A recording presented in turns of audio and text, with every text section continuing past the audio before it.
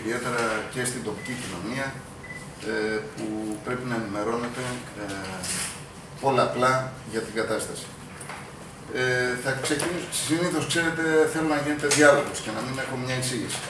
Θα σας πω όμως μια ε, σύντομη ιστοριούλα πριν ε, πάρετε το λόγο για να βάλετε εσείς την ατσέτα να συζητήσουμε ό,τι θέλουμε.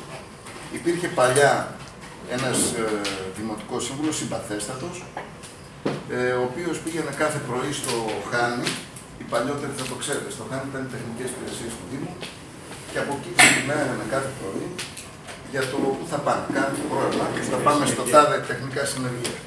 Θα πάμε εκεί να κλείσουμε την τάδε λακκούβα, στη, στα Κούπουρνα, ξέρω εγώ, ή θα πάμε στη Λάμπη, ε, που είναι σπασμένε πλάκε του πεζοδρομίου, το φρεάτιο κλειστό εκεί κτλ. Πήγαινα λοιπόν πρωί-πρωί πριν φύγουν τα συνεργεία, τους έλεγε πού θα πάτε σήμερα και αφού του λέγανε, πήγαινε αυτός πιο πριν ε, και έλεγε τι πρόβλημα έχουμε εδώ, α, η λακκούβα. Θα το κανονίσω σήμερα ε, τι κλειστό το φρεάτιο, θα το κανονίσω σήμερα. Και πηγαίνανε βέβαια μετά τα συνεργεία. Δεν ξέρω τώρα πόσο τσιμπάγανε ε, οι κάτοικοι ή δεν τσιμπάγανε. Γιατί το αναφέρω αυτό.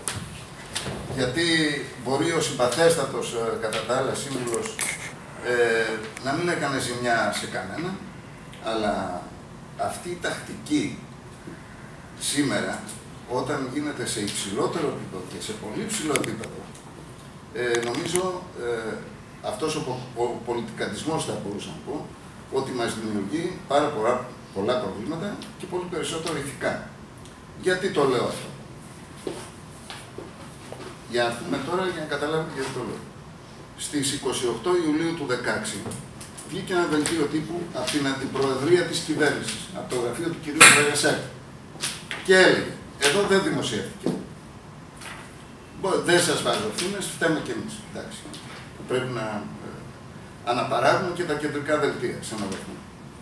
Ε, κοινή διευρυμένη σύσκεψη εργασίας του Κυβερνητικού Συμβουλίου Οικονομικής Πολιτικής και του Κυβερνητικού Συμβουλίου Κοινωνικής Πολιτικής με θέμα τη νησιωτικότητα και τη νησιωτική πολιτική πραγματοποιήθηκε σήμερα 5η 28 Ιουλίου του 2016 με τη συμμετοχή βουλευτών κυβερνητικής πλειοψηφίας κτλ. Παρουσιάστηκαν είναι μία σελίδα, αλλά για να μην σας κουράζω, σας λέω το νούμερο γιατί με ενδιαφέρει πάρα πολύ. Τι έγινε. Ε, παρουσιάστηκε, παρουσιάστηκαν οι προτάσεις ενός ολοκληρωμένου κυβερνητικού σχεδίου δράσης. Οι υπουργοί είχαν υποχρέωση μετά από εντολή του Πρωθυπουργού να φέρουν τις προτάσεις τους, τι έχουν κάνει και πολύ περισσότερο, τι σκέφτονται να κάνουν και τι μπορούμε να κάνουμε την επόμενη περίοδο. Και τα επιμέρους θέματα που συζητήθηκαν ε, με στόχο εντός του φθινοπόρου να ανακοινωθεί η πρώτη δέσμη κυβερνητικών μέτρων για τα νησιά. Τα επιμέρους θέματα που συζητήθηκαν και αναφέρεται στο δελτίο που αναφέρονται και τα θέματα είναι πρώτον η εφαρμογή ρήτρας νησιωτικότητα σε όλα τα νομοσχέδια, ΦΠΑ, μέτρα αντιστάθμισης της αύξησης των συντελεστών και βελτίωσης της εισπραξιμότητας, τρίτον μεταφορικό ισοδύναμο, ώστε τώρα το έχουν ξεχάσει όλοι, τέταρτον ενίσχυση των κοινωνικών δημόσιων υπηρεσιών προς τους πολίτες, διαμόρφωση θεσμών για τη χάραξη και υλοποίηση της νησιωτικής πολιτικής, υποδομές, χωροταξικά θέματα, εργαλεία χρηματοδότησης μικρής κλίμακας, καταπολέμηση φαινομένων διαφθοράς και παραοικονομίας, νέο μοντέλο ανάπτυξης, καινοτομία, ενεργειακή αυτάρκεια, τηλεϊατρική και άλλα, με πιλωτικές εφαρμογές σε επιλεγμένα νησιά. Όλα αυτά για να γίνουν υπήρχε μια πάρα πολύ σοβαρή κοπιαστική δουλειά μηνών Ξέρετε ότι έχω την ευθύνη νησιωτικής ε, ναυτιλίας και νησιωτικής ε, πολιτικής και είπα την προηγούμενη ιστορία γιατί με δεδομένο αυτό, με το δελτίο τύπου που βγήκε στις 18 Ιουλίου του 2016, έχουμε πολλούς μετάχρηστων προφήτες.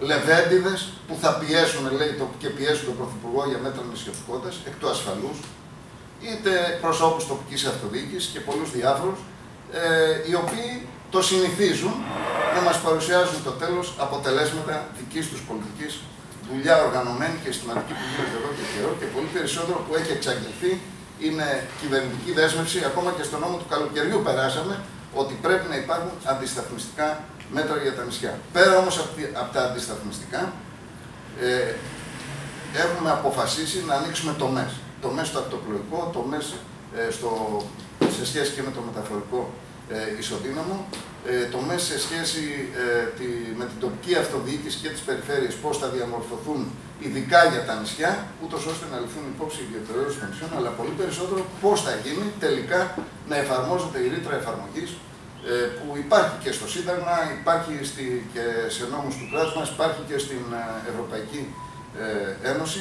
Όλα αυτά, εφόσον ολοκληρωθούν και είναι χειροπιαστά, θα ανακοινωθούν από τον Πρωθυπουργό σύντομα, μέσα στο φθινόπωρο. Δεν ξέρω αν είναι Σεπτέμβρης, αν είναι Οκτώβρης. Υπάρχουν και πολλά γεγονότα μέσα στο Σεπτέμβριο, θα δούμε αν προλάβουμε. Ε, σε ποια κατεύθυνση είναι αυτά, είμαι στη διάθεσή σας να συζητήσουμε. Δεν είναι δεδομένα. κάποια μπορεί να είναι σχεδόν σίγουρα, κάποια ε, συζητούνται, θα δούμε τις δυνατότητες που υπάρχουν. Ε, και φυσικά είμαι στη διάθεσή σας για να συζητήσουμε και γενικότερα προβλήματα ε, που μας ενδιαφέρουν αυτή εδώ την περίοδο και ιδιαίτερα για το νησί μας. Ε, είναι ότι πολλά θα είχαμε να πούμε για την ε, εξέλιξη της τουριστικής περίοδου που απασχολεί ε, και τους ε, συμπολίτες μας, τα οικονομικά προβλήματα κτλ. Είμαι στη διάθεσή σας.